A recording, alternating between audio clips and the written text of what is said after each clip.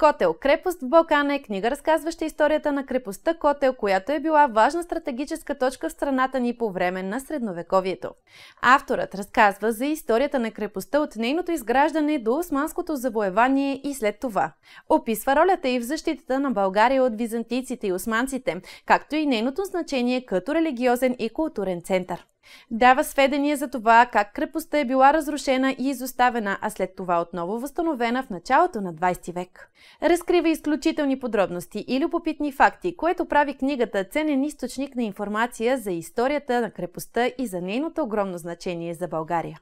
Котел Крепост в Балкана е издание подходящо за читатели, които се интересуват от историята на България от периода на средновековието и от ключовото значение на крепостите.